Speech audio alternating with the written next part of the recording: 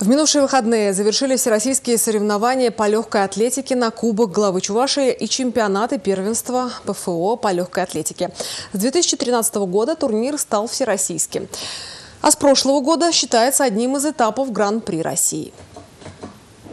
В этом году Кубок главы Чувашии по легкой атлетике разыграли в 19 раз. Проведение соревнований в начале года в Новочебоксарске стало доброй традицией, несмотря ни на какие политические течения в мире спорта, отметил глава республики Михаил Игнатьев и пожелал спортсменам не сдавать завоеванных позиций и добиваться новых побед.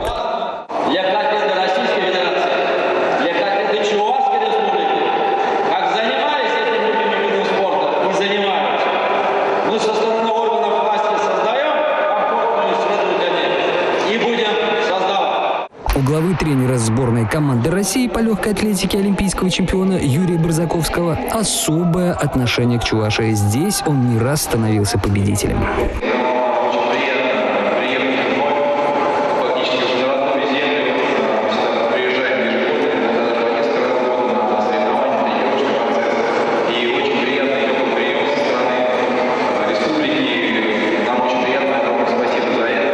Кубке разыграно 8 комплектов наград. В программу вошли финальные забеги на дистанции 800, 200, 1500 и 3000 метров и прыжки с шестом. В общей сложности чувашским спортсменам удалось завоевать две золотые, одну серебряную и три бронзовые медали. Анжелика Сидорова сохранила за собой титул победительницы Кубка главы Чувашии. Она представляет национальной сборной Москву и Чувашию. Результаты будут учитываться при формировании вызовов спортсменов на престижные всероссийские соревнования «Русская зима» Москва-2017.